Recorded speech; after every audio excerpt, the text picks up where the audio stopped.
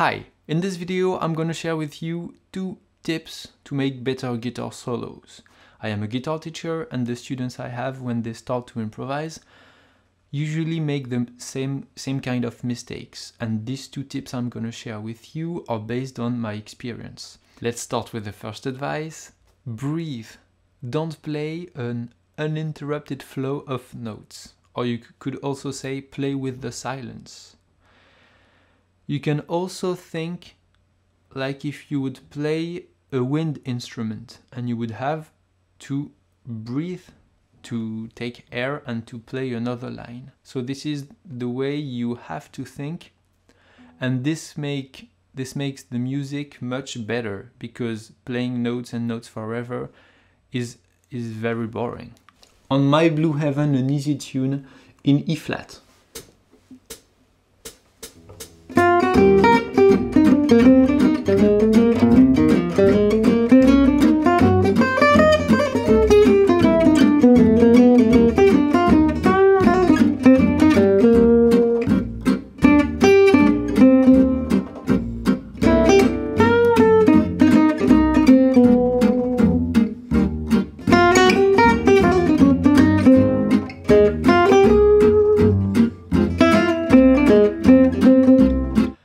I hope this example was obvious enough.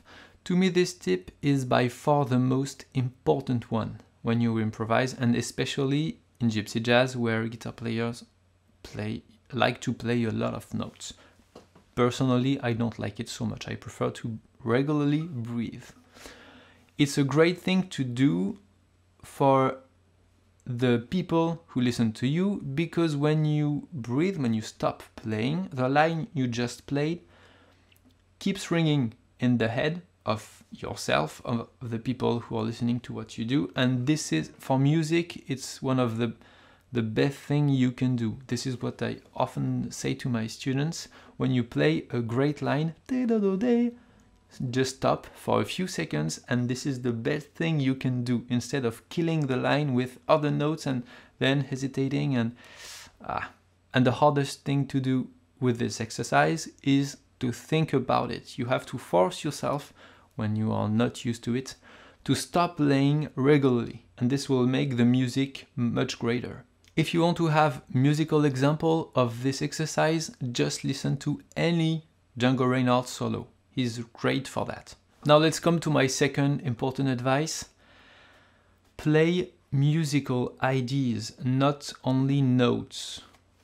This is something that is not so obvious to understand, so let me explain it to you. When we play music, we want people who listen to like it and to feel it. And for that reason, we have to play musical ideas that can be heard. I didn't say understood, I said heard. When I play in front of an audience, I try to challenge myself. For example, I say to myself, okay, this guy in the audience, let's suppose he doesn't care about gypsy jazz, he doesn't know anything about this style of music, and I want him to to hear or to to feel what I play and to like it. So it's a it's a great challenge. It's difficult to do, but it helps me creating new stuff and trying new ideas that he can hear. If I just play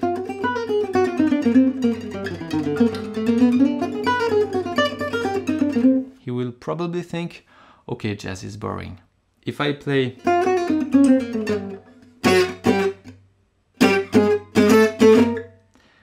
he can say, oh yeah, this, uh, this is this is different from what he played just before, you know. So he can he can feel this changing, this contrast in my improvisation, because this musical idea was different and was easy to hear. If you want to apply this and if you want to do it when you improvise, it's not so easy when you start because a musical idea can be anything. But still, what usually works is repetition, repetition of notes or repetition of a rhythm.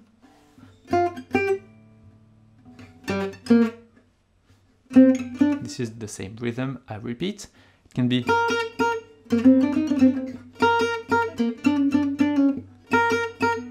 This is the repetition of a note that I play different uh, three times.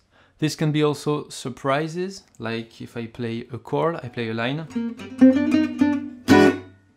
This surprises the audience. This can also be any kind of contrast I can bring in my improvisation.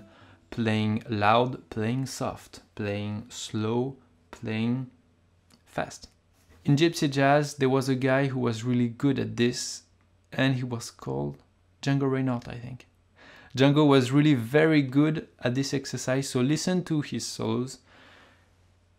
Listen carefully to the musical ideas he plays because his solo are great, are, are really very well constructed, so try to mimic his playing. And now let's apply this on an improvisation on My Blue Heaven, in which I will create different musical ideas and of, of course I will breathe.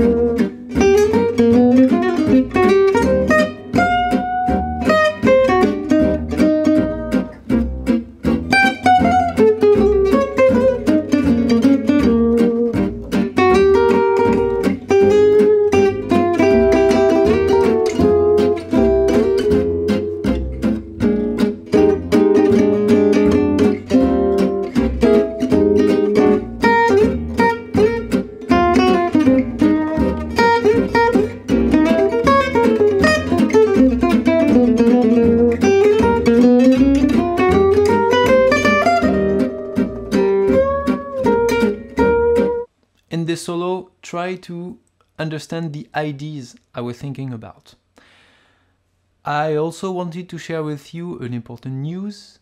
I will be teaching at Django in June. This year, it's a five days Gypsy Jazz workshop happening in the US, in Northampton, Massachusetts. So if you live in America or if you want to go to America for a week of intense Gypsy Jazz playing and, and learning, I hope to see you there.